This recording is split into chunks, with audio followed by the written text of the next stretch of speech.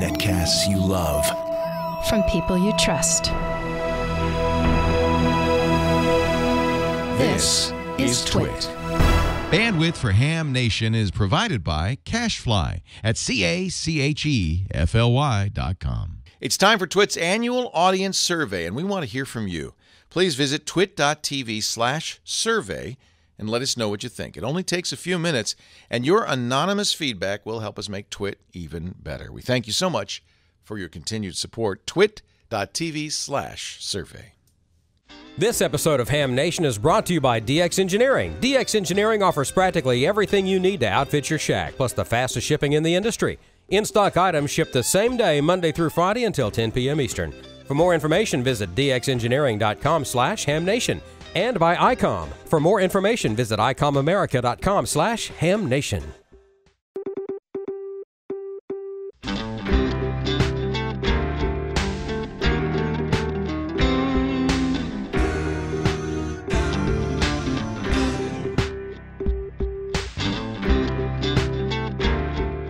This is Ham Nation, episode number 190, April 1st, 2015.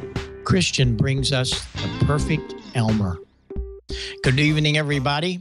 I know it's April Fool's Day, and that might mean a lot to a lot of people, but this is Ham Nation. You're dialed into here on the Twit Network. I'm Bob Heil, K9EID. I'm coming from the Ozarks tonight via Exceed, the old satellite delivery service. Got a new microphone on here tonight. That's cool. A new PR10 works great. And um, the base lights up when you hit the push to talk switch. It's pretty cool stuff what's going on here. And we have a really interesting show tonight. I mean, this is uh, all of them are great, but a little bit more going on tonight. And Valerie is here. And of course, Don is here. George is here. Amanda's standing by taking all the questions in the chat room. So, you chat room guys, you uh, start lining up and get some questions. But we're going to go down to Costa Mesa first, and we're going to visit with Gordon. Gordon, how you doing? I am fine. And I'm delighted to say, look at this March issue of CQ magazine. And I've already seen the digital rendition of April issue that has a funny April Fool's joke. So CQ is doing great. Also doing great are the signups to the DX convention, Bob, coming April 17, 18, and 19 in Visalia. It's going to be big. And then I look forward to seeing all those of you in the Sierra Nevadas at the ARRL Nevada Convention near Reno, Boomtown, May 1, 2, and 3. And then I'll let you tell everyone, Bob, about the upcoming activities in uh, Dayton coming up mid uh, May. But wait a minute. Bulletin, bulletin from the Amateur Radio Relay League, this uh, bulletin. Now, that is not to be confused with the American Radio Relay League, but rather the Amateur Radio Relay uh, League. Um, they're going to be amending the Q codes, and um, the FCC says, sure, go ahead. Uh, the uh, Amateur Radio Relay League says, sure. And some of the new Q codes QET, phone home, uh, QEW, uh, say again, earwax. QLF, I am sending with my left foot. This one I like. QBO, don't sit next to that guy at the next club meeting. Get it? QB. All right. Anyway, and finally, uh, QBS. Yes, it is getting deep in here. Uh, happy April Fool's Day. And look at this. This is no April Fool.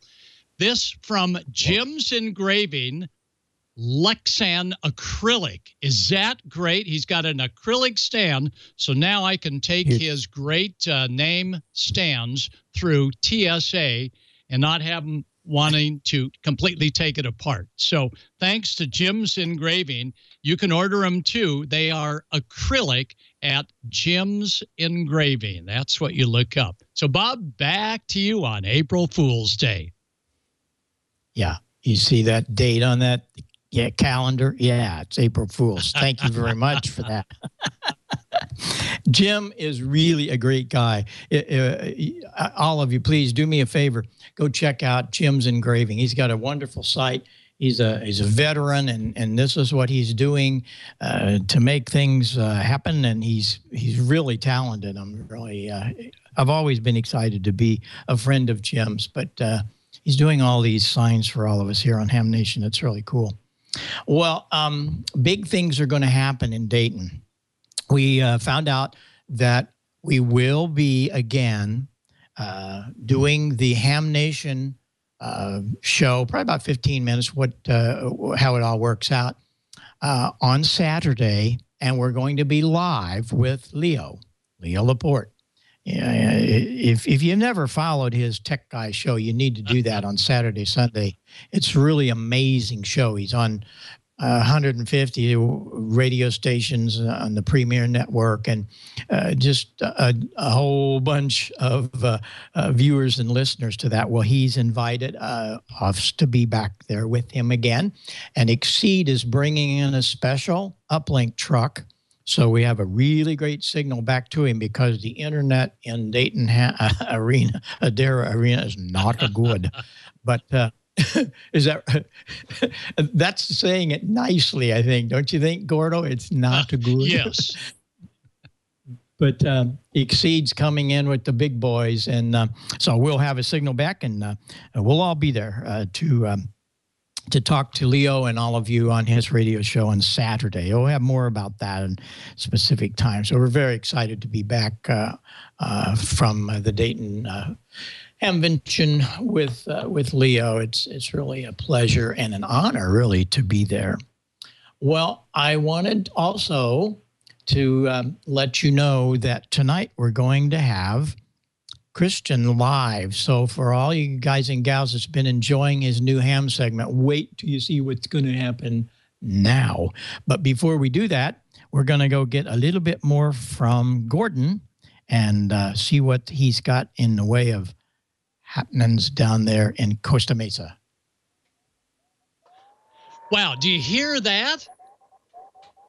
Hawaii is calling, and that's the Hawaiian Beacon coming in here to Costa Mesa 2,500 miles away. The beacon is on the air on both 2 meters, 432 and 1296, 24 7. And oh, lately, we've been hearing the beacon coming in loud and clear for the last three days.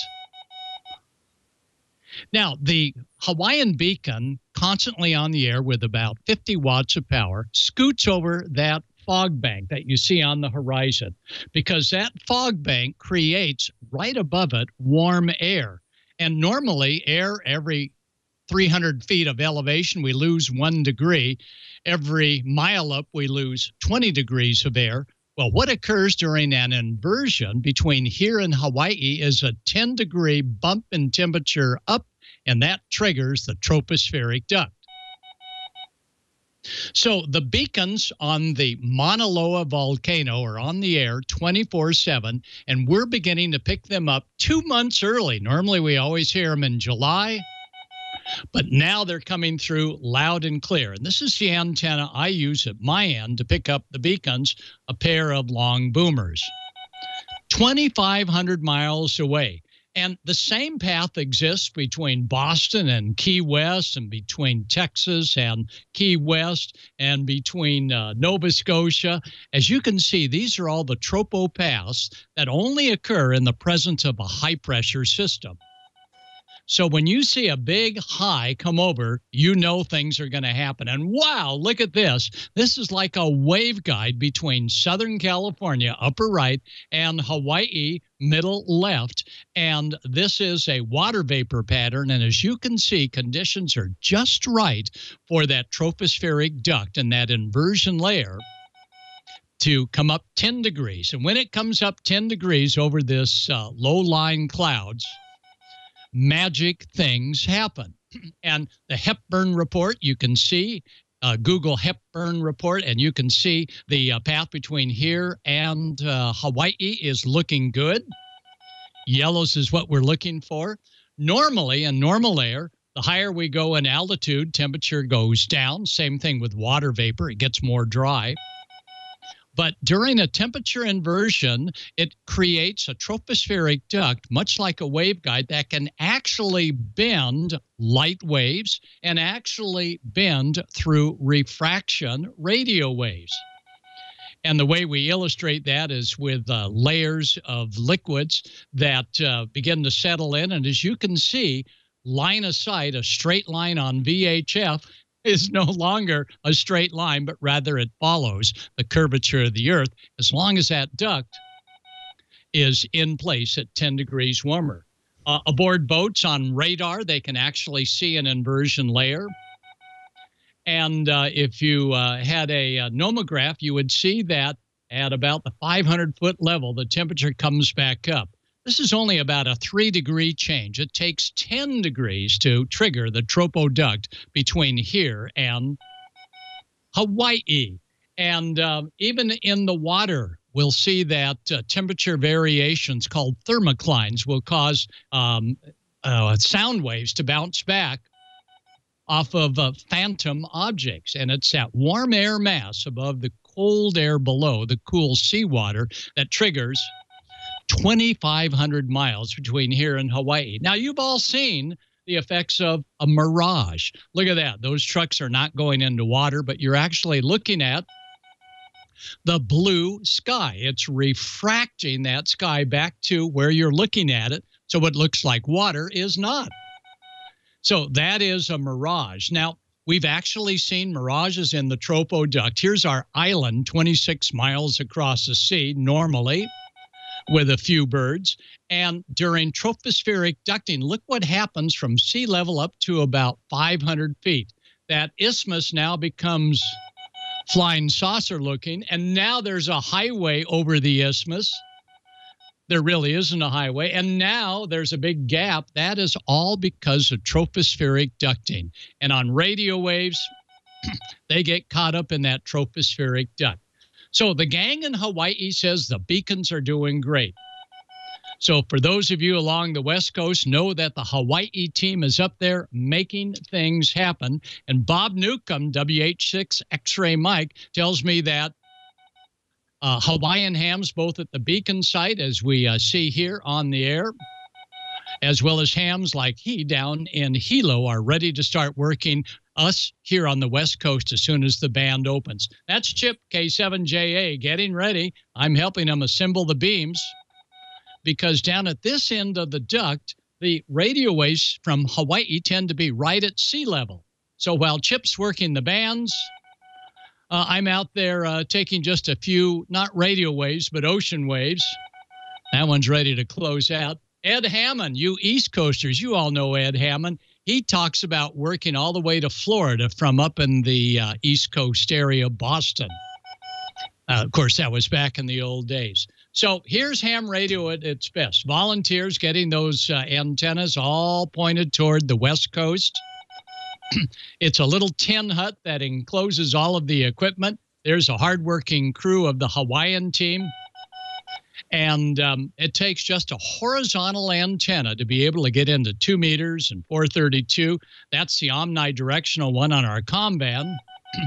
Here's one that uh, Chip has through Innov antennas ready to work Hawaii. And um, here's a, a, neighbor down the street with a monster array that can work Hawaii even on the 222 band. And um, there's Leo and team uh, getting ready to uh, congratulate the Hawaiians for getting a signal all the way over here. And it all happens on single sideband and CW down at the bottom of the band, 144 200 as well as 432 100.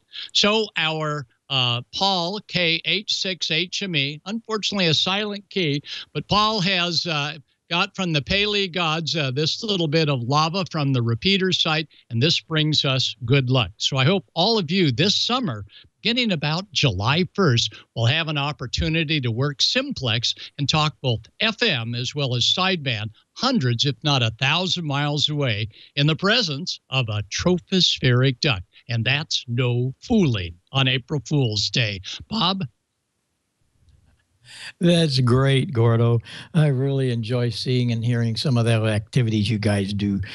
Uh, not going to do it from Missouri. We'll just be working in Missouri uh, uh, QSO party this weekend while you guys Okay. are working big time stuff. well, we want to uh, go hear a little bit from Don to tell us about what's going on at DX Engineering. Don, take it away. Hey, there's all kinds of cool stuff going on at DX Engineering. It, it as Gordon showed you, it's DX season. It's that time to go and hit the tropo between him and and Hawaii. It's all it's well, it's antenna season because it's springtime, and that ain't no fooling. If you're looking for a new multi-band Yagi that will give you monoband performance, you want to check out the Navassa 5 from JK Antennas. And it's right there at DX Engineering. It's a wonderful choice if you want to get on the most popular HF bands or if you want to upgrade from a tri-band trap antenna. The only place you can get the Navassa 5 is, you guessed it, DX Engineering. It's based on a collaborative design by Daniel Horvat, uh, E73M, uh, N4EXA also is his call sign. It puts five full-size elements along the, the same plane. Now, that means you get two uh, element monoband performance in a five band antenna, 10 through 20 meters, including the WARC bands, through a single run of coax cable. It's got a wide flat SWR curve, gives you wonderful wideband performance. It's also very compact and fairly lightweight. And this is springtime and, and the wind season, especially in Oklahoma, as we'll see a little bit later on with what happened to a radio station antenna there. This thing will withstand winds up to 100 miles an hour, and the turning radius is just a little bit over 19 feet. So it'll fit on practically every lot out there, even the smallest. And for even more band coverage, there's an optional six meter add on kit for the Navassa 5 and DX Engineering. Again, the only place you can get this brand new antenna. Uh, winter was a little harsh for most in the U.S. In some places, it still is. And if your antennas have been feeling the fury of Mother Nature, uh, not feeling the love from mom, well, DX Engineering has everything you need to get them back in shape. Quality aluminum and fiberglass tubing to build an antenna or a light duty mast. Uh, available in many lengths, multiple outsized, uh, outside diameters as well, and they will smoothly telescope inside each other. So uh, either slit or non slit ends, depending on clamping, telescoping application. Perfect tubing if you're looking for maximum strength even at long assembly lengths. If you like to build your stuff, DX Engineering fiberglass tubing is ideal to support your antennas. Also, uh, they have quad spreaders, uh, perfect for that, uh, insulating stacking frames. You can get eight foot telescoping lengths in multiple diameters uh, for push up masts. You can also repair your antennas with professional spec clamps, everyone made to exact tubing OD sizes for the amateur radio community. Ideal if you want to build a new antenna or even repair or upgrade your existing antenna. There are also isolating clamps that work well for isolating elements in Yagi builds, all kinds of stuff for any antenna project you have out there. Call DX Engineering because they ship faster than anybody else in the industry.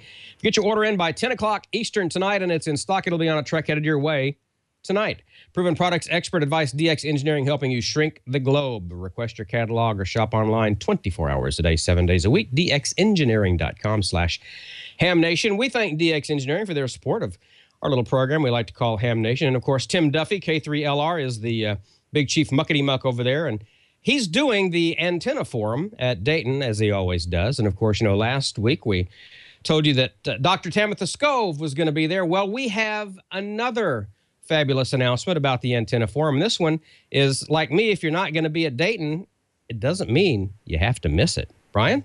The 2015 Dayton Hamvention Antenna Forum is Friday, May 15th.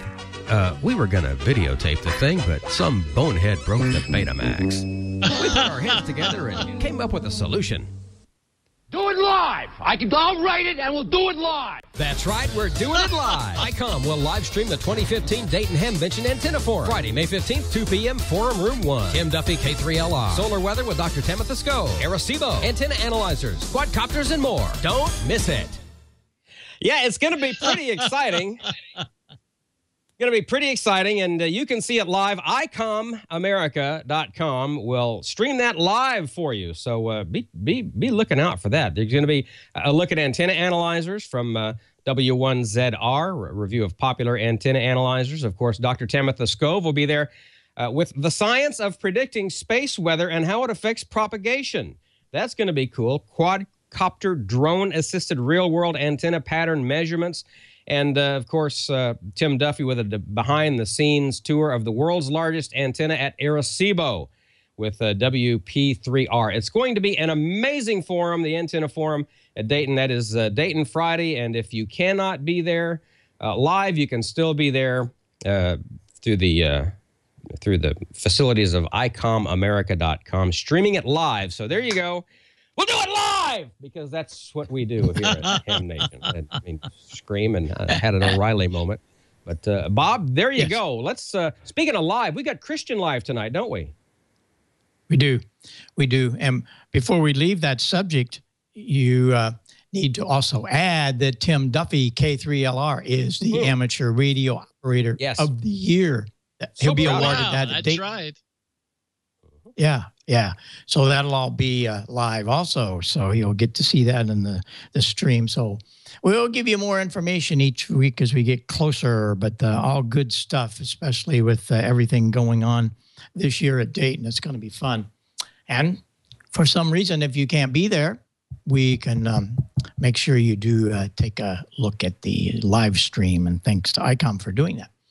Well, we have had such great response from this new segment, a new ham, and um, what's interesting about it is it's uh, being done by a new ham. Uh, uh, met Christian. I'm sure you heard the story. I told it a couple times. He we met years ago and he did a documentary on uh, Heil Sound and all that when we were doing the Rock and Roll Hall of Fame stuff. Why he did a really nice uh, nice video about it, and he's got interested in ham radio because he had this old receiver he told me about. Well, here we are uh, coming up this past summer. He got his license. And so I asked him to come on and talk about all that. And he took this over because he's a TV producer. That's what we aren't. We're just hams. But he's a real live dude. But I said, we never get to see you. So, Christian, welcome uh, live tonight. How are you doing? You okay? You know, you I'm great. Thank you for having me. But you had to have Don talking about antennas. You know, I've got a weird antenna problem right now. I've uh, you've given me this sickness, and now I'm analyzing dipoles. I'm I'm building one. I I just bought a bunch of stuff from DX Engineering. So uh, I think you're just teasing me a little bit. And then Don frightened me a little bit with the O'Reilly thing, and I snapped out of it a bit. But uh-huh. you know, I'm having a good time. I'm I'm working on a fan dipole right now. It it should go up in an oak tree soon.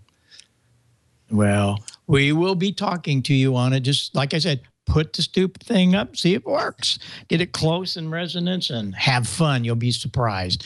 So you've got a really nice segment tonight. So let's uh, turn it over to you and let you uh, bring on the good stuff about some new hams. Sure thing. We can do that. You know, and a few weeks ago, it's almost been a month now, you put the call out to send your your emails and tell us your stories. And you know, you don't have to be a young ham. You don't need to be 8 years old or 16 years old or 12 or whatever. You can be an older ham and and have a great story. And tonight, um, from this data we're collecting from these stories, we're finding a, a lot of uh, interesting shades. So I'm trying to pick out different aspects of this hobby uh, to highlight. And so tonight we have two hams on two sides of the same coin. One is very active. He's an extra class license. The other is his friend. They're in Virginia. They live about an hour away from each other.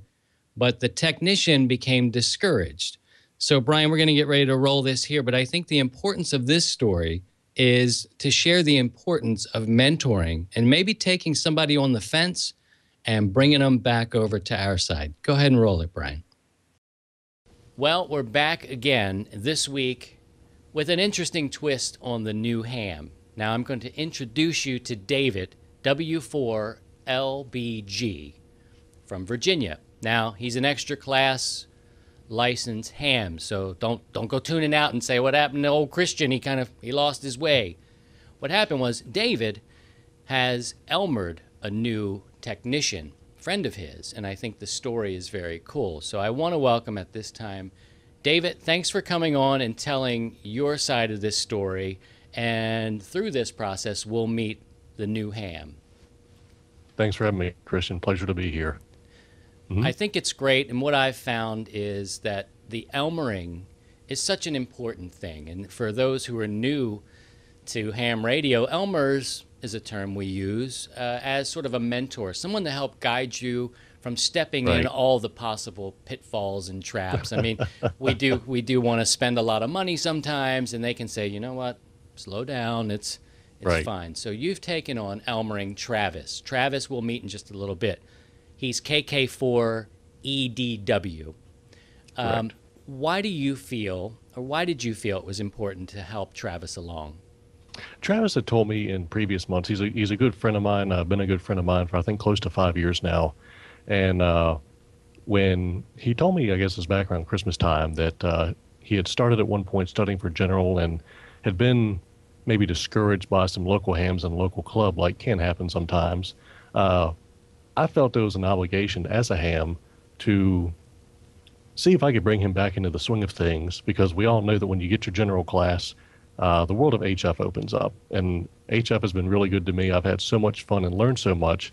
And I knew that if I could get him onto HF that first time, then the bug would bite him. And that's exactly that's exactly uh, what happened. Frankly, you threw him in the deep end. I mean, there's nothing like getting involved in a pileup as your first. So it's not like you said, look, let's send an email to a guy. I have a friend. He's somewhere, and uh, we'll just meet up on that frequency and you'll make the contact, which is totally good, fine way of doing things. You were Sure. like, you know what? Let's get in the middle of a, a you know, a competition. Throw you Sure. in there, and let's let's see what you can do, kid. Right. I mean, it, it's also the fact if I knew there were going to be a plethora of DX stations on the air for that weekend, and you know, if I had brought him down any old day, you know, we might have made a contact, we might not have, but I knew this was a surefire way to uh, get him on HF and get him working some DX. And uh, yeah, it, it was pretty much a deep end treatment, like you said, but at the same time, you know, sometimes if you don't take that first step, then you'll never go forward. So you did it right. Mm. I applaud you for your effort on getting Travis his first. I think you've what Thanks. Dr. Bob says. I you know he gave me this disease. It's true. It's one we don't want to shake particularly. We enjoy it, uh, Mm-hmm. but I think you really did give uh, Travis a good shot of this disease. So well, done. good on you, man. thank you. Thank you. So what we're gonna do now is we're gonna go meet Travis. And here he is, the new ham. Everybody's been waiting for the new ham. We've been dealing with an Elmer for I don't know how many minutes now. We've actually got the new hand, ham here. Travis, KK4EDW. Congratulations. I know you've been a technician for a while, Yes. but what really made you turn the corner now in, in terms of maybe pursuing this a little deeper? Or maybe a better question is, why did you kind of hang out for a while? Well, I originally started uh, ham radio with the intentions of doing Skywarn and also local emergency management. And it wasn't really ever my intention to do anything in terms of DXing or really communicating much on a regular basis. Uh, but in the last several weeks, I've been getting attuned to the uh, uh, a group of individuals here in Central Virginia on 220, and that's been a lot of fun uh, kind of rekindled a couple of stray contacts prior on two meters. And then when uh, W4LBG, when David uh, suggested to me about coming down and checking out this contest uh, just to see what it was all about, I went in with an open mind, but not much expectation, I guess.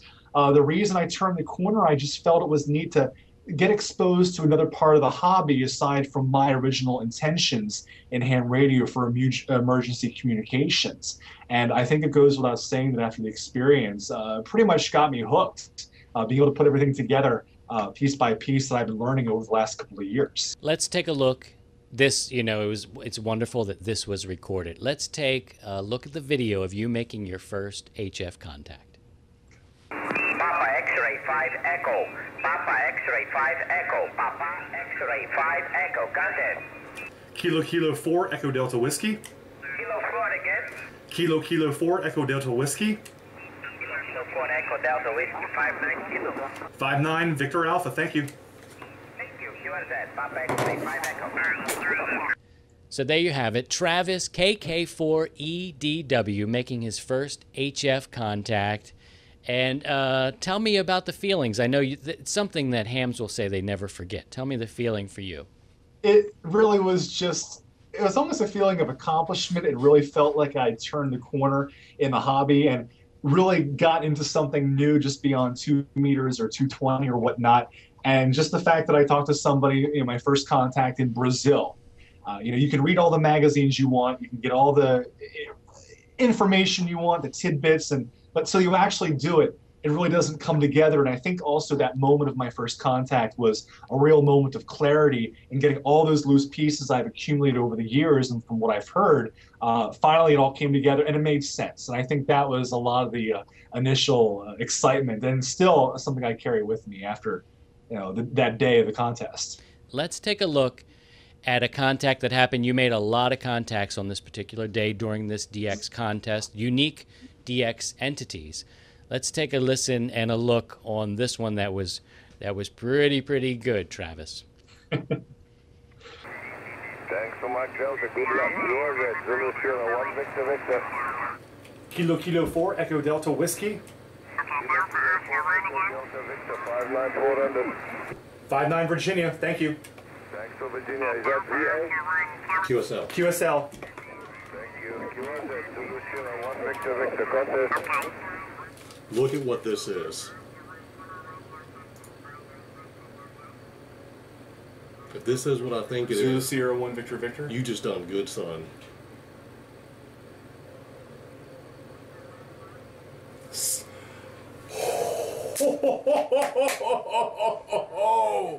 wow. You just went a third of the way around. Wow. Now I'm going after it. Go, go get him, go get him. Darn. So Travis, that's ridiculous. So the excitement, the fist pumping, it I jumped up out of my seat. I was thinking, man, this is like hitting the three-pointer at the buzzer. And it's South Africa and it's confirmed. I mean, what was that like? If nothing was going to if you had a hook kind of right here on your lip, I think hitting South Africa just you know, it's all the it had to get you, right? It really did, and I think that was kind of the the second moment where I realized, okay, this is going to be a lot of fun. All I remember, it happened very quickly, and I know that once David said, "Oh, the window's open, we got to go for it," he went for it, handed me the mic, and then I went for it, and then we just kind of looked at each other like, we just hit South Africa, eight thousand miles away on hundred watts, and then it kind of sunk in, and then I think that was the moment where beyond the initial excitement of the first contact, that's when I realized just how amazing the simple technology of ham radio is. The fact that I can be 8,000 miles from somebody, hear them very clearly, and make a contact. And that was just, again, almost like, okay, foundation was built the first contact, now the house is on top and we're ready to go. And that was only my sixth contact. Okay. The South Africa contact was only my sixth. Yep. Rub it in a little bit, Travis. I I don't have South Africa on my log, and I'm thinking about hanging up on you right about now. But anyway, I, I just want to congratulate you on that, and I hope that you will continue on the path to HF and uh, you know getting your rig and getting your antennas up. It seems like you got a good guy and a good buddy there helping you out. And uh, long may you run, man. I, I hope we get to work you down the line a little bit. Thank you. I'm very appreciative for David and all those who have helped me along the way become a ham operator with confidence. I think that's the big key is having someone who's willing to help you along the way. And certainly, I hope that our paths may cross uh, on some bandwidth someday in, in the very near future. Travis, KK4EDW. 7 3, buddy. 7 3 to you as well. There you go. Wow. There you go. I mean, I think that really shows the importance of Elmering, and I know I couldn't do it alone. I mean, I've got three great guys who have the patience to just uh, listen to me, and you could see the excitement. I mean, that that video is really priceless. I think, and uh, so I don't know. I think the reaction of you, uh, you all, you guys are are part of my Elmer team. So, uh, what did you think? I loved it. Crazy, right? Yeah. Insane. Really great. Yeah, And it's really great. And miles. the thing is that he, wasn't afraid of the microphone. He jumped in and grabbed a hold of it. And yes, he had his Elmer sitting beside him, but uh, he made the contact. It, it, a lot of those things uh, happen with the uh, the Elmer kind of making it, but uh, he did it, and uh, man, that that was really great. And uh, I, I appreciate you putting that all together. And who knows what's coming next? Gordo, what'd you think about that? That's pretty good, huh? Well, we need more kids, and what a great way for Elmering kids to Elmer more kids. And uh, wow, Christian, thanks so much for a great show. Thank you. Yeah, Thanks for the super- opportunity. You know, somebody asked what he did it with, and it was a it was a dipole. He was 100 watts barefoot. Oh, wow. and It was a dipole. He just had the right prop, pop, propagation, and and things went his way. It was great. Yeah, that's what I've been telling you, Christian. Just put that stupid thing up and see what happens. Exactly. I, but the problem Oh, is, boy. I put another one up, and another one up, and another one up. I got another tree, maybe. So yeah, That's it's okay. it- a- antennas are an, an interesting thing to me right now. But I, you know, I this mentoring thing. If it, uh, you know, if you're not getting Elmered, you know, and he was on the fence. He was pretty much going to pack it in, and and you know, he was just going to do some stuff on the periphery of ham radio. And he his buddy was like, "No, I think I can help," and and that's what happened. So Yeah. it's a cool story. Well, thanks for doing that. We'll look forward to uh, to seeing more stories. And anyone that, um, if, if you're a new ham, or uh, get a hold of Christian. Uh, he- let's uh, get you in here. That's how you get on the show. We'd love to have you and hear your story about what you're doing in ham radio. Don, what do you think about that? Was that pretty cool, or what? Oh man, to have a hands-on Elmer like that. Uh, oh yeah, just just the best. I. It's been so long. I don't remember exactly my first HF contact, but uh, but yeah, I wa- I was scared to death. Even being a broadcaster for you know thirty something years, I was. Everybody's a little bit mic uh, shy. I think the first few times because you're not, especially HF is can be intimidating. Can be very. I mean, you start off on the repeaters, the two meter, four forty repeaters, whatever, and HF can be very intimidating. But the thing is, just get in there and do it, man. That's that's the important thing. Just jump in with both feet, get good and wet, and just uh, you know, come on in. The water's fine, right? Yeah. Okay, dokie. Well, let's see what's going on in uh, with the news. You you do have news today, don't you, Mister Don? You know, as a matter of fact, I do. Let's roll that now. From Amateur Radio Newsline Report, number 1958, these are the Ham Nation headlines for Wednesday, April 1st, 2015. Ham radio access to six meters in Thailand has become a thorny issue. Thailand's National Broadcasting and Telecommunications Commission, or NBTC, is considering a new national frequency master plan, one with the twin objectives of strengthening national security while also planning new broadband telecommunications services for the future. The new master plan sees reallocation of 50 to 54 megahertz to the Army to enforce national security. But a conflict soon cropped up from a decision last year to allocate 50 to 54 megahertz to Thai amateur radio operators. The Army, which has been using the spectrum for emergencies, opposed the move. Because of this, the NBTC has yet to allow amateur radio operators the use of the 6 meter band, given the protest from the military. Now, if the National Broadcasting and Telecommunications Commission goes forward with the new master frequency plan as proposed, it would appear as if Thailand's army will be getting its way and hams will not gain access to the 6 meter band. For the Amateur Radio Newsline, I'm Bill Pasternak, WA6ITF in Los Angeles. The International Amateur Radio Union has approved the publication of an emergency telecommunications guide and has made it available on the organization's website. Skeeter Nash, N5ASH, has more. This handbook was developed to provide the IARU member societies with materials suitable for training their members to participate in emergency events. It is also designed to provide guidance to the individual amateur radio operator who has little or no experience in handling emergency communications but desires to enhance his or her ability to participate in such events or to simply have a better understanding of the process. The publication can also be used in conjunction with other training materials by leaders within the emergency communication community to train radio operators in the basic theory and practice of handling emergency communications traffic. You can download the 93 page guide in PDF format at the URL you'll find in the full edition of this week's Amateur Radio Newsline report. In Amateur Radio business news, Bencher has been sold to Vibroplex.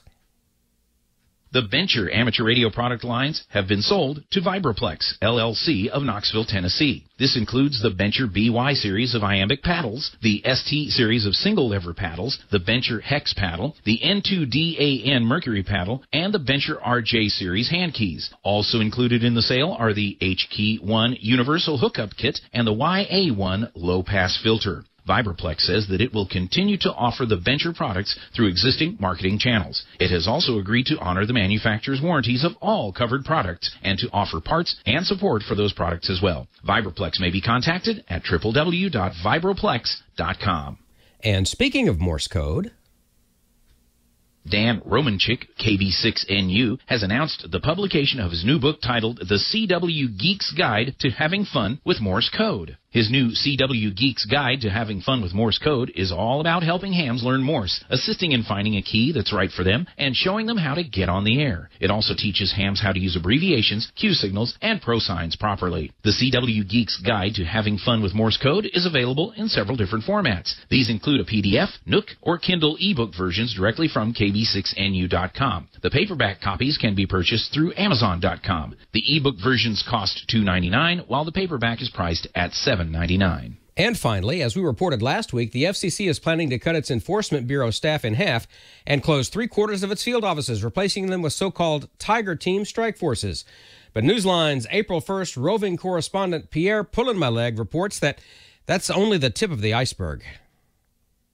We have learned from our confused sources that the FCC's proposed enforcement tiger teams will be only part of a menagerie of planned strike forces, including lion, leopard, cheetah, and chimpanzee teams. Each of these will be devoted to enforcing FCC rules in a particular radio service, representing in total a titanic new response to lawlessness upon the airwaves.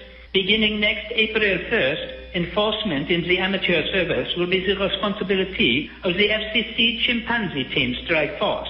These special agents will leap into action whenever a rules violation is detected on the ham band, going bananas and swinging from tower to tower until the violator is brought to justice. The ultimate goal, according to newly named Team Chief Sam Simeon, is to make it coconut clear to the amateur radio community that the FCC means business and that hams who monkey around with the rules will eventually slip up and be brought down. From the primate pavilion at the Bronx Zoo, this is Pierre Pullenmaleg reporting for Newsline. Hey, give me back my banana! Pierre provides us with stories that have great uh, appeal can't wait to hear his follow up about 365 days from today. And that's all from the Amateur Radio News line, your independent source for amateur radio news for over 37 years and counting at www.arnewsline.org. For Bill Pasternak, WA6ITF, Skeeter Nash, N5ASH, and Pierre Pulling My Leg, call and parts unknown. I'm Don Wilbanks, AE5DW, 73. We'll see you next time here on Ham Nation.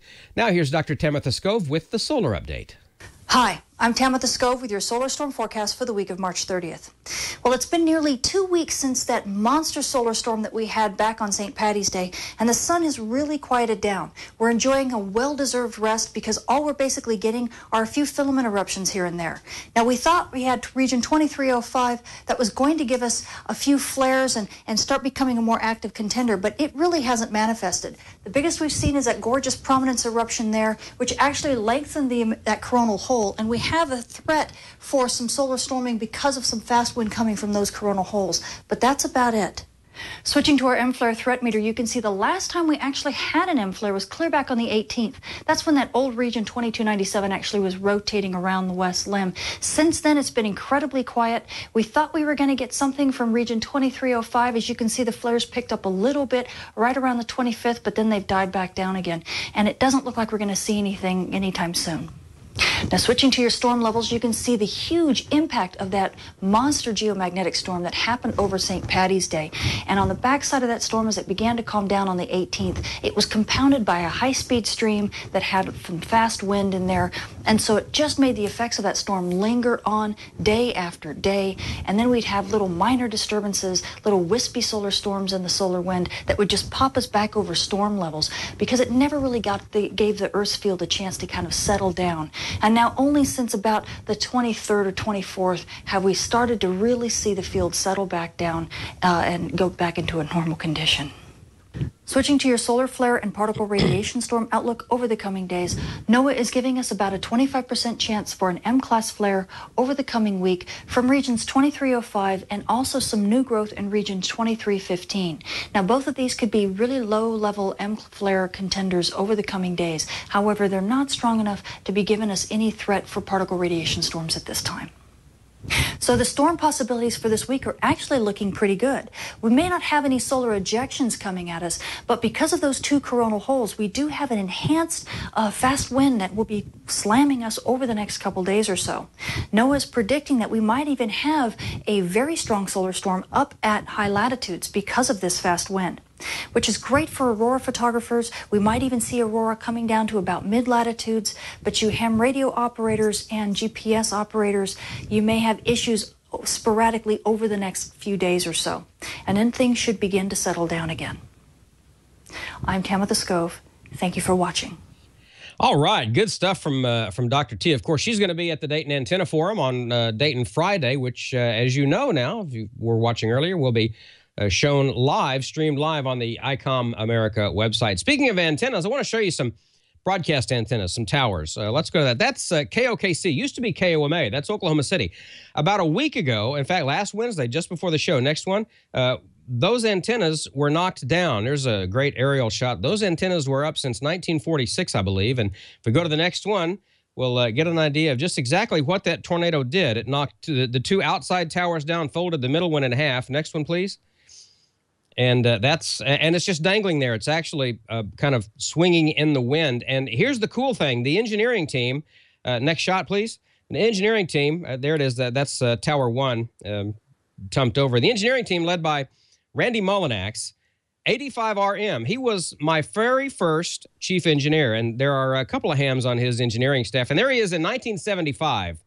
So, uh, 40 years previously, putting the first Harris MW1 on the air in Oklahoma. So, uh, congratulations to Randy Mullinax for getting that radio station back on the air.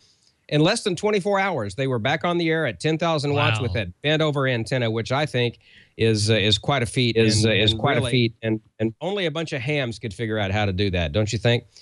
So good stuff. Now let's uh, get over into our, our, our other broadcast engineer. That would be George Thomas, and see what's going on with smoke and solder. George, pretty amazing stuff, huh? Yeah, pretty amazing stuff. And if I'm not mistaken, I believe those towers were wind chargers. Uh, they used to be real popular um, back back in that time period. I don't know when the last one was made, but uh, anyway, two of them were two of them were Blaw-Knox. Two of those three were Blaw-Knox towers. Okay, Okay. Uh, could have been. I didn't know Blaw-Knox uh, made anything that wasn't, uh, you know, of the uh, triangular diamond. Yeah, variety. no, they did. Yeah, they made some square profiles. Cool. Uh, well, on Smoke and Solder tonight, we're going to pick up where I left off a couple of weeks ago. You know, I was building this little kit here, and we didn't get around to testing it out. So let's do that this week. The last time we got together, I built this little Iambino keyer from AE9RB. It's made to fit onto an Arduino, in this case an Uno, and give us several functions. This week we're going to check it out. The first thing we need to do before we plug this into our Arduino is take a resistance measurement across capacitor C3 in here. We should measure 3.1 k ohms plus or minus 20%. 3.27K, that's close enough. So now I can put the display back on. There's a couple other things we need to do before we plug this into our Arduino. One of the first ones, though, is to load our sketch or our program into the Arduino. And I ran into a little problem here. You've got to follow the instructions carefully. You download the zip file, and then you unzip it into a folder named Iambino. And that's got to be under the root folder of your hard drive. Otherwise, you'll get compile errors when you try to upload it to your Arduino. Once you've got it in the right place, though, it should download right on into the Uno. Once that's done, we can install our Iambino shield onto the Uno. Be careful not to get your pins crooked. And then we can apply power and we're ready to go. We can adjust R12 under the display here to set the contrast correctly. If all worked out right, then we're going to see Iambino and however many words per minute the pot is set to. That's a good initial sign. Now let's just look at a few of the things here that we've got. There are four push buttons here that are used for recording and playback of messages. And then there's a fifth one here that's used to select our settings mode.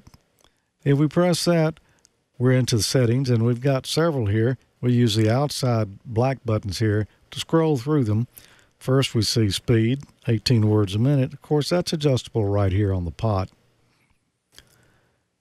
The next thing, speed minimum, 5 words per minute, or maximum 40 words per minute. Uh, message banks, we've got two different message banks in here, one and two. Use the center two buttons here to scroll between those two, or any choices through the menus. Next, we select our mode. We can select iambic, automatic, bug, or straight key. And I'm going to put it on, well, since I don't have any of these others, all I've got is a straight key. So let's just put it on straight key and see what happens. But on through the rest of the settings here, we've got memory type B, dot, dash, or type A. I'm not even sure what that means. I'm going to have to look that one up. The next setting we've got is spacing. We can set that for element, character, word, or none, and element was the default. Next, we've got weighting, and by default it's set on 50%, but you can use the center two buttons here to adjust it however you would like. Then paddle, you've got the choice of normal or reverse. That means if you've got your paddles connected backwards, you can just put it on reverse right there.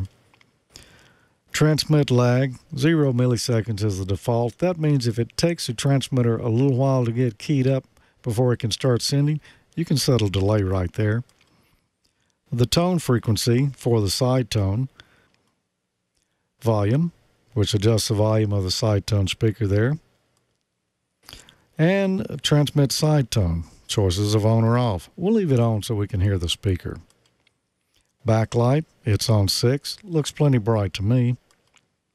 And then back to speed again. To get out of the settings, we just press the red button again, and we're back to operating mode. There are connectors on the board for headphones, your radio, or a key. Now, let's just plug in our straight key here and see if it even works. Seems to. Of course, it, it's a straight key. You do your own dots and dashes with that. Now, unfortunately, to record memories in here, you can't do them with the straight key. And a straight key is all I've got, so we're going to have to get a little creative here to try this thing out a little further. I've only got the one straight key here, so we're going to have to use a push button for the other side of the paddle. If we press our code key, we've got DITS. If we press a switch, we've got DOS. Now, I'm not a code junkie. I can't really even send Morse code, but we're going to play with this anyway. I've programmed in some messages already in the number one bank, so let's just take a look at those. In the number one position, my call sign. The number two position, just a little CQ. Number three, signal report 59. And number four, 73. So I can send all of those with just a single push of a button here. Now let's look at actually recording one into it. The first thing we'll do is hold down whichever button it is we want to record and let, let's re-record the CQ. So we'll hold down button number two. It says record two. and let's just key it in here with our crude paddle.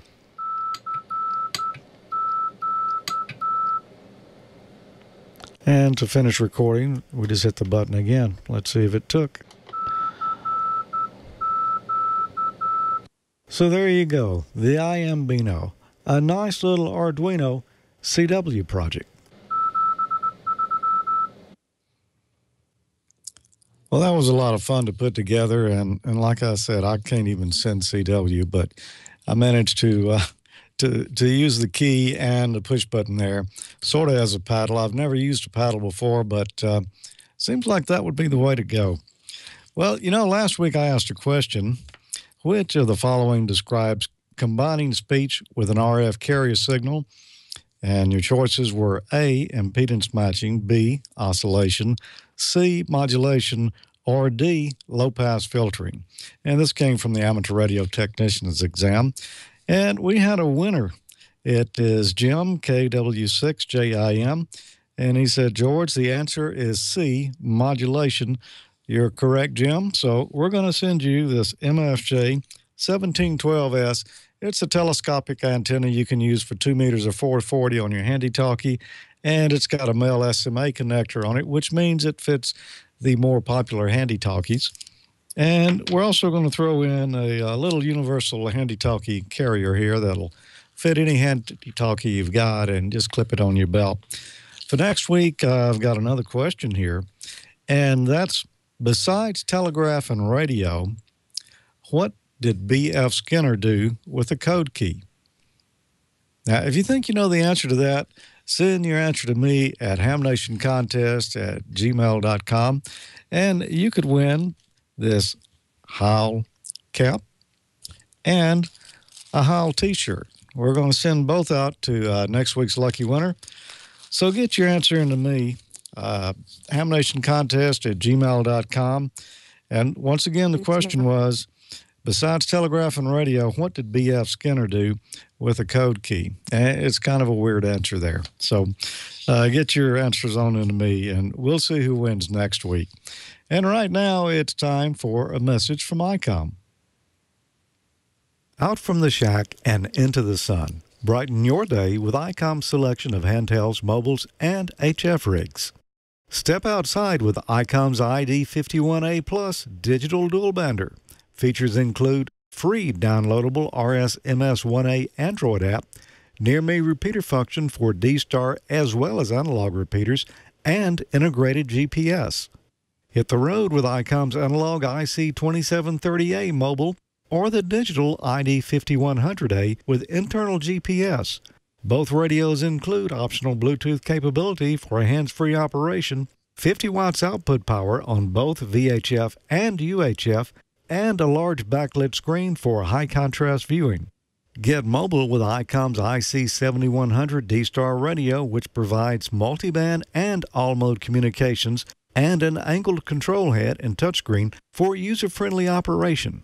For solid HF operation this season, try ICOM's IC7600. This rig offers advanced DSP technology and three IF roofing filters, dual watch on the same band, and LED backlighting on an ultra wide 5.8 inch display. Let ICOM brighten your day with their selection of handhelds, mobiles, and HF rigs. Make sure you visit icomamerica.com slash amateur today for more information on ICOM's complete line of amateur radio products. And you can tune in and enter to win after each episode of Ham Nation. Go to icomamerica.com slash hamnation. Throw your name in the hat for some great swag prizes like t-shirts and hats, and learn how you can win the monthly grand prize drawing for a new radio. Go to icomamerica.com slash hamnation for the official rules and to check out all of ICOM's previous drawing winners, like March's grand prize winner, who is Colin A, KI4QJO, and Colin's going to be receiving a brand new IC2730A analog dual band mobile.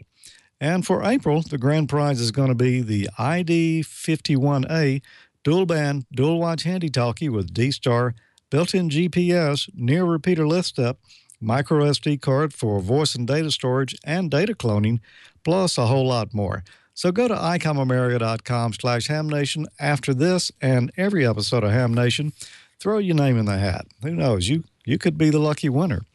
And Bob, you know, we're going to be doing um, the Leo's show with him Saturday morning from Dayton Hamvention, and Tommy and I will be doing Amateur Logic on Saturday afternoon at Hamvention from uh, 2 to 4 p.m. over in the ICOM booth. So, going to be a, um, a, a full day of Hamvention fun streamed online that Saturday. Isn't that true? Yeah, we're very excited. By the way, you, do you need to borrow this? I think I do. You, s- need you saw you saw what I was using. That's not not very easy. Yeah. Yeah. 1959, I got a hold of this uh, Vibroplex and uh, so ever. So very good. And George, I finally got the. Um, the there you go. Yeah, super duper. I, I finally got the uh, PR10 Adventure. project going. You know, I- hey, no, yeah, there's a real CW operator. Yeah. yeah. What That's can all I I tell got. you? You know, they all work. So there you go. It all depends on what's going on. But uh, George, yeah, what you, you know my my whole uh, thought about desk stands. I hate them because they people get oh they get way back here and look what happens to the audio. Well, we'll just crank it up and then you hear the whole room. That doesn't work. So we finally got this together. Now you have a desk stand with a boom and you don't have to lean into it. Isn't that cool? So That is cool. and you know, Bob, I I got a couple of those in the uh, mail today that we're going to be giving away in the future. We are. And the push to talk button, it lights Yeah. up when you. Sweet. Oh, baby. Or if you want to be cool, you can uh, switch it so that it just stays on when you want to uh, impress your friends as they come in the station. Oh, we've been thinking. I mean, we've been doing it. Yeah, yeah, yeah. oh, I love it. But the best thing is this microphone. It's a baby 740, uh, 781. It's really, really good. And a little bitty guy. So we are going to thank you very much for all of that, George. I know it's a lot of work you do, and we're looking forward to fun at Dayton. Oh boy. But we also are going to have, I think, Miss Valerie. Valerie, how are you? It's nice to be with you here. Are you doing I- okay? I, think. I, how long has it been since we've been on a show together, Bob? It's been a while, I think. I don't know, a long time. And and do we have an anniversary tonight? Tonight is my one year anniversary, and you know how I know? Because I was getting, I was putting on my Wisconsin sweatshirt because they're in the Final Four, just like they were a year ago. And that's when I started my first show on Ham Nation. So I do have to do a shout out to my Badgers, my alma mater. Uh, again, they're playing Kentucky again. Hopefully, they won't lose by one point this year in the Final Four. But uh, yep, one year ago today, I started Ham Nation, and what a ride it's been. Well, we're very, very honored to have you. So many emails and phone calls and people on the air. Uh, they, they respect uh, your knowledge and your presence. You're, you're just so good. And uh, we, uh, we want you to tell us a little bit about what's going on in the wonderful world of DX. All right. Well, I don't have any kind of information video for you this week. Uh, we just got back from Forland. We were down there last week. Um, but um, as far as DX goes, uh, if you want to show that first uh, photo, Brian, hopefully you got those. Um, nope, not that one. But I want to show that one at the end. Get that off of there. Well, um, South Georgia. Um, VP8 Delta Oscar Zulu. That guy's still there. You know, he's still working on that world's largest rat eradication eradication project. Now he's on 18160 every night at 2030 through 2300 Zulu. Now he's not necessarily calling CQ. So if you get on that frequency at in that time zone at time and you call him, he will most likely come back to your call and give you a QSO. And the reason he's not calling CQ, I mean that's a very rare DX entity. And I want to show you the equipment he's working with if you want to show that next uh, photograph. That is a commercial HF radio. And what he has to do when he's working you is hold that handset and type at the same time. So it's pretty hard to call CQ and run a pile up. So if you need South Georgia, make sure you get on uh, 18160 uh, at 2030 through 2300 Zulu and uh, work him and get him on 17 meters. Also coming up in about 10 hours at uh, 1200 Zulu uh, is uh, okay, I hope I don't botch the name. I looked it up on Wikipedia how to pronounce this thing, and it says to not say the N. So Trindade is is the way it looks like it's supposed to be pronounced. Trindade Island. Um, they're only going to be there a few days. They're hitching a ride with the Brazilian Navy, so they're on their time uh, frame, so they can only be there a, a few days, and that is number twenty nine on the DX most wanted list. And if you notice Trindade in and that mountain in the background, if that looks kind of familiar, it could be because back in the 70s, they photographed some UFOs on Trindade, and it's probably one of the most famous photographs of a UFO. If you go to a library and check out a book on UFOs, you're going to see that picture right there in probably every UFO book you check out. Just a little fun fact about Trindade. Now, as far as this is not really a contest or um, well, kind of a contest. Uh, It might be something to try if you're looking to try something new, expand your uh, ham radio wings. Um, they have every Tuesday and Thursday night, there's the QRP CW Fox Hunt, and they're on 80 and 40 meters. So you have to go on your radio and try and find this QRP signal. And it sounds like fun. A lot of my friends up at the GMDXA group, uh, they do this all the time. So if you want more information on it, there's their website, qrpfoxhunt.org. Uh, if you're into fox hunting, it might be a fun thing for you to do. Now, as far as contesting goes on, we had a real big one this last weekend. WPX sideband was on. Um, unfortunately, we didn't participate. We were on vacation, but I did a little bit Sunday when we got home. But uh, that was a really fun one. As a matter of fact, I, we won first place USA. That was one of my pl- plaques on the wall there. But um, there's a lot of QSO parties going on right now. This weekend, we have Mississippi. Montana and Missouri. Uh, hopefully, Bob, are you going to be on for the Missouri QSO party? Of course, it's it's it's the 3M work uh, uh, 3M uh, weekend, right? Yeah, yeah. No Maine or Maryland, but uh, yeah. And uh, you county hunters, I mean, I'm sure there's some counties there you need, probably especially in Montana. Um, also, I did want to say the 15 meter sing, uh, uh, slow scan TV dash contest is also this weekend. So you slow scan TVs are, TVers out there, or if you've always wanted to try it, now's the time to get on and uh, work a lot of people out there. Also, wanted to let you know about a DX group. They're called the North American DX Association. They actually uh, offer bus service to and from Dayton, from the New York or New Jersey area, to and from Dayton at cost. They're not going to make any money on that. So, uh, if you need a, to hitch a ride to Dayton and back, uh, you should check it out. Or if you're a DXer and want to learn about their organization, they are DAX, or I'm sorry, NADXA.org. And that's all I have for today. Sorry it's so short, but we were running long, so that probably worked out. So I am going to head it over to Amanda and see what questions she has from you guys in the chat room. Hey, thanks, Val. Uh, I have some great questions tonight. Nice to have you back tonight. I hope you had a great vacation. Uh, Bob, let's go to you first. Um, the first question we have is from Pedro, CT1FCX. He says, uh, which would you uh, recommend for 160 meter band? Uh, would you prefer an inverted V dipole or a delta loop? Oh, if you have the room, just put up a good old dipole. It's very difficult to beat a dipole. Uh, the, delta loops, you got to play with them to make them work because uh, some of it's in phase, out of phase, and it's so tough. Uh, they're not easy to, to control. They work good once you get them all up, so I'm, don't have to worry about it. Just put up a good old dipole and make it happen. But it's got to be a full length resonant dipole. 160 is tough, but uh, you do that and you'll be in good shape, and we'll join you there because I'm on 160 a lot late night. Very good. Thanks. And uh, KD5DPK would like to know Are you ever going to give us a video tour of the Heil plant? It would be good to do if I ever get back there.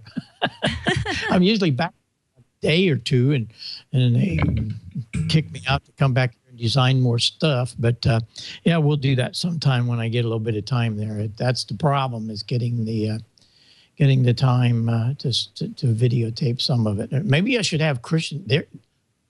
There's the answer, Amanda. We'll have Christian come back and do it. All right. That sounds awesome. Can't wait to see that one. And uh, Mr. Wilbanks, I have a question for you. Uh, this pertains to Amateur Radio Newsline. And Mike, KB3BYJ would like to know if he set up a low power repeater using HTs and wanted to transmit Newsline over it, can he get a brief explanation of what, if anything, he would need to do to keep within the laws when transmitting it? Yeah, absolutely. We we make it fairly easy to do that. Um, you just go to arnewsline.org, arnewsline.org, and you will see uh, you can download the script and you can download the audio. The audio is in MP3 format, and uh, uh, the audio goes about 25 minutes on average. And of course, before we hit the 10 minute mark, there is a pause to uh, put in your ID because you have to ID at least every 10 minutes on amateur radio. So uh, before you hit the ID mark, there will be uh, a pause, a five second pause for you to put your ID in. And then again, Uh, after the second segment, before the third segment, will be another five minute pause or five second pause to throw your ID in. Now, the only problem with doing this with an HT is um, it's pretty long. I mean, if you're gonna you're gonna be transmitting for 10 minutes solid, and that's probably not that good with an HT. Uh, but if I mean, if you want to set up a repeater or any station, any repeater, or even a simplex machine that they can handle, you know, a long uh, transmit interval to uh, to transmit amateur radio newsline, you can do that. I used to do it uh, in New Orleans when I was net control for the New Orleans VHF club. Before I had a mixer and uh, a, a radio that I could port that audio into, I used to just take my hand mic and hold it uh, in front of the the computer speaker. And then eventually I, I, put a rubber band around it and, and figured out how to do it that way so I wouldn't get writer's cramp or, you know, hand clamp cramp holding that microphone. But it's very easy to do. It's just uh, it takes a little perseverance, especially if you're going to do it with, it with an HT. And I probably wouldn't recommend doing an HT because that uh, that 10 minute broadcast or 10 minute transmit interval will be pretty rough on an HT. So, but that's that's as easy as it as it gets for if you want to transmit amateur radio newsline on your net or – or a simplex uh, machine repeater, whatever. That's how you do it. Very good. And uh, there you go, Mike. Uh, you also have your technical help desk if you come into problems with that as well. Thanks, Don, yeah, for that. I appreciate it. Just email it. me. Just email me if you have any questions about that. I'm good on QRZ. Okay. And uh, before I get to Val, I had to make one announcement. I, this is the only one I had. KN0MAP. Dan upgraded to general a couple weeks ago. And on the same day, his wife, Dorothy, got her technician license as well. So congratulations to her. KE0DNT. All right. Hey. Uh, glad to have them. And uh, Val, nice to have you back. I was really hoping for an April Fool's joke. You were going to tell us that you were going on some exotic DXpedition maybe that's really going to happen and that's why you didn't tell us that it was an April Fool's joke? No, I hope someday to do that. But you know what? I did want to show Brian. Do you want to show that one graphic that the the non-numbered graphic for me? That do you guys know what these guys all have in common? They do, are our net control operators. And I just want to say a big shout out and thank you. Those guys are out there every week helping to promote the show. And I do want to give a big thanks to those guys. And I believe next week Dale has a big announcement that has to do with our net control operators. And so you're just going to have to tune in and find out what that's all about. Very awesome. Thanks, Absolutely. Val. Well, we uh, we will look forward to their announcement because it's a biggie. And uh, you're exactly right, Valerie. They all maintain this show. If you haven't tuned in and uh, listen to the afternets. Oh my! And uh, George, what's the dewdrop in uh, Echolink nodes that you can tune into? Actually, we don't have George on at the moment. Has anybody got those? Uh, I can answer that. I can that? answer that. Yeah, dewdrop in is oh. star dewdrop in star, and it's node uh, three five five eight hundred, and on D star it's reflector fourteen Charlie. So there you go. Okay. And thanks. The chat room dropped in there too. Really enjoy the chat room. It's it's great. I can't always be there because we're doing all the other stuff. But thanks everybody for being there and helping us keep things alive. We're getting we're coming up to the 200th show. It's, it's just amazing when you think about what uh, what's been uh, accomplished here. And Leo Laporte uh, spoke last week, and he, he's so thrilled with everything that's going on. And uh, this is one of the top shows of the network. And one of the guys that makes that happen is the guy you don't see much, and that's Brian, because we cause him great pain because he's supposed to just sit there and have a couple of things. We usually have five or six different feeds and all these pictures and stuff, but uh, it's what makes this show interesting. So go get some wire from, uh, well, go down to Lowe's or Home Depot or whatever. Get you some about number 12 or 14 copper wire, 486 divided by the frequency, cut it, put it up, and talk to us. And uh, that's all you got to do. All this Caroline to Windoms and all of these hot dog. No, just a resonant dipole. That's all you need. That's all you need. And you can hey, work Bob, the world. Bob, yep. I started off with speaker wire. I had some speaker wire that I used for my stereo in my basement, and that was I made a loop, a loop skywire, and I made my first DX contact works with my speaker wire. So you don't even need to go get special wire. It worked. No, it, no, that, right. I mean, the wire I'm talking about is just old 12 or 14 gauge for strength, really. But you're right, my dear. It'll work with just about anything. The key is it's got to be resonant. And then you don't need all these tuners and all this stuff and worry about this and that. Cut it to frequency. Have to worry about that. So, okay. And we'll uh, we'll bring you more on that subject again. But thanks for being here. I, I appreciate everybody being here tonight, and we'll um, we'll see you next week. I think I'll be here. We're going to be on the way to Visalia, but uh, you going to Visalia, Valerie? You and Jerry? I sure am. Two weeks Yeah, from you are. tomorrow. Got it. Yep. We're looking forward to that. We'll get together and go have a hot dog somewhere. Okay. Yeah, or a taco. In California, you got to have tacos. That's right. All right. Well, take care, everybody. Have fun. Go uh, look the nets up now. Um, 14280, Steve will be there. 7286, you got to tune around a little bit because there's a lot going on in that portion of, of 40, but it'll be right in there. You won't have any trouble hearing them, let me tell you. And um, uh, Cheryl's at 3847, and you have all the rest of the uh, dewdrops and so on. Thanks so much for joining us. We'll uh, be back here next week. Bring some of your friends and uh, enjoy amateur radio. It's greatest hobby in the world. So long for now. We'll uh, talk to you next week right here on Ham Nation. This is K9EID.